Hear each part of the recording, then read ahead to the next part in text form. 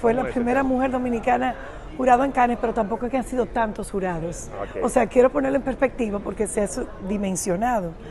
Eh, mi deseo es que no solamente vengamos más mujeres a futuro, sino que todos los años hay un dominicano aquí, porque nos representa y quiere decir que ya estamos contando y haciendo una marca en el mundo. La experiencia de la jura fue increíble, o sea, para mí la acepté, era un trabajo muy duro, eh, cada uno de los jurados teníamos que ver 300 casos, esto fue el mes de mayo completo, trabajo muchas horas, pero te da una experiencia de aprendizaje, de tener una exposición global de lo que se está haciendo en el mundo eh, en términos de lo que es media y creatividad merging, o sea, conectado y totalmente a la convergencia.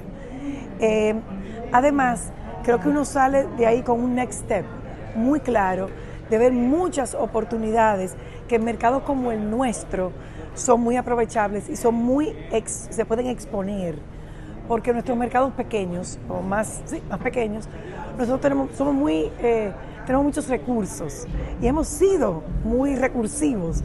Eh, y entonces esto es un estadio donde nosotros podemos mostrar. Y eso para mí fue de verdad un aprendizaje. Sí fíjate para mí perfecto. Eh, solamente yo hice un tally fui marcando cómo yo iba juzgando para ver cómo salía esta premiación y qué tan cerca o lejos estaba. Y realmente lo que yo puse en posibilidades de premio, oro, plata, bronce y Grand Prix estuvieron.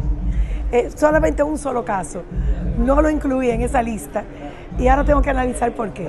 Pero sí, muy, muy adecuados. Perfecto. Bueno, las expectativas son muy buenas. Nuestra industria es una industria que se está consolidando, está, está cada vez más madura, eh, pero a la vez está manteniendo la ingenuidad de todo lo que estamos aprendiendo nuevo.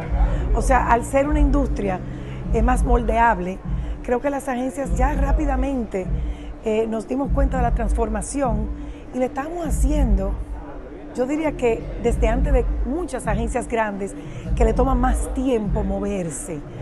Eh, nosotros hemos dado muchos pasos como industria hacia partnership, de lo que significa toda la parte de tecnología, de data, cómo trabajamos conjuntamente con nuestro departamento y nuestra cultura creativa para poder traer soluciones creativas de negocios a los clientes.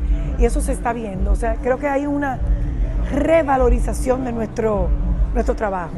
Es uno de los países que más crece, gracias a Dios tenemos una economía que crece, muchas inversiones extranjeras y los eh, clientes locales también dando unos saltos gigantescos a nivel de todo lo que son sus inversiones y formar sus marcas más fuertes.